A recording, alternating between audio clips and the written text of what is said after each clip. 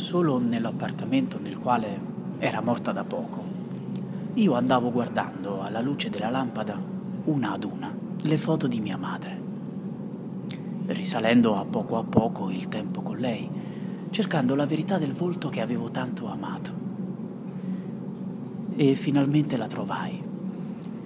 Era una fotografia molto vecchia, cartonata, con gli angoli mangiucchiati, d'un color seppia smorto.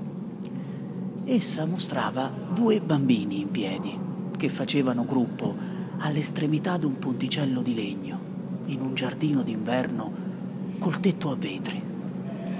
Mia madre aveva allora, 1898, cinque anni, suo fratello sette.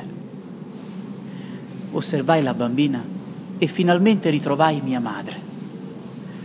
La luminosità del suo viso, la posizione ingenua delle sue mani, il posto che essa aveva docilmente occupato senza mostrarsi e senza nascondersi.